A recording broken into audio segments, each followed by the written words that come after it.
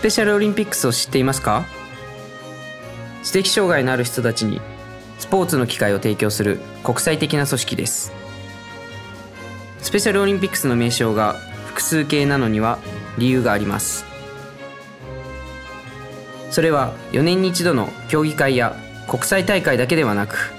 年間を通じて日常的なスポーツトレーニングプログラムを行っているからです。スペシャルオリンピックスの目的は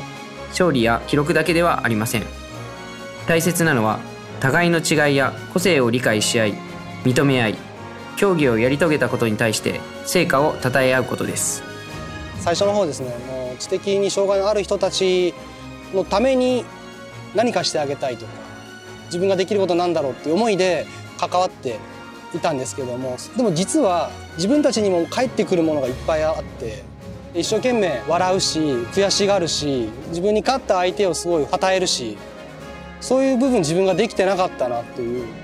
ただ結果を出すことだけしか見てなくて。多様な人々が生きる社会の実現を目指して活動は続きます。